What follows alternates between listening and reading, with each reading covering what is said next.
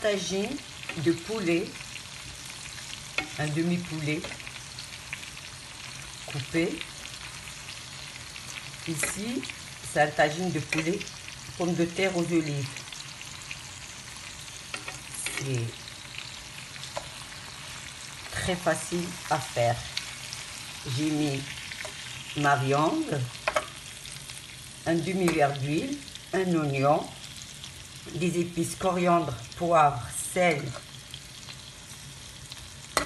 gingembre et je laisse dorer un petit peu. Je laisse dorer parce que le poulet ça cuit vite.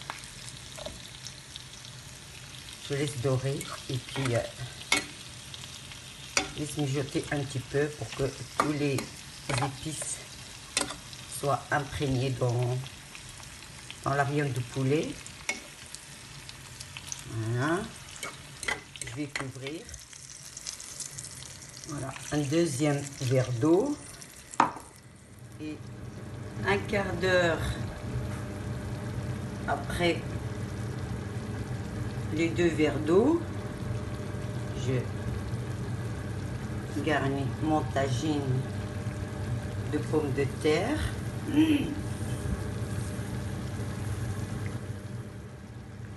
Mes olives.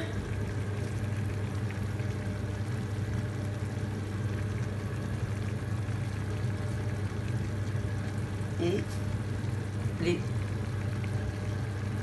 citrons confits.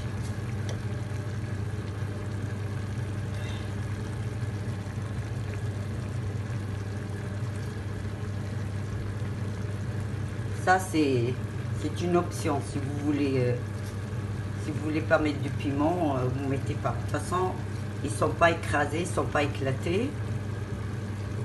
Ils sont entiers. Je les enlèverai à la fin. Celui qui veut du piquant, il va, il va, il va mettre devant lui ou dans une assiette à part. Voilà.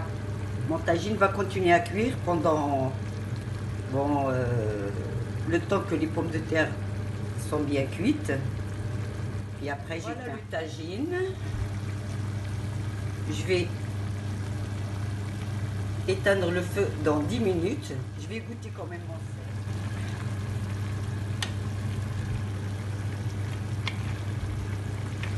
Je vais arroser mes pommes de terre avec le jus. Les pommes de terre qui sont au-dessus.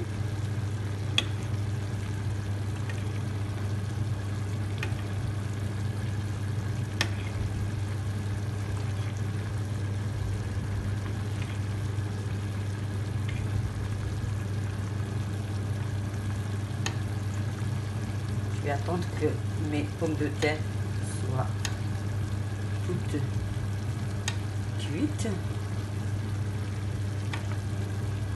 Je goûte mon sel. Hum, trop bon. Je couvre et je laisse couler ici. Voilà.